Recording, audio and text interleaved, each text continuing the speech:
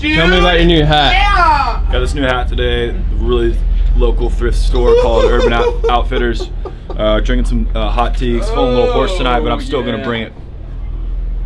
That's This it. is Judah and the Lion live backstage. Get ready to rumble. It's Sporty Show. Oh, I'm not here with these fellas. Who wants I got a big competition down in the Blue Stock Pavilion, and I'm gonna win that blue trophy.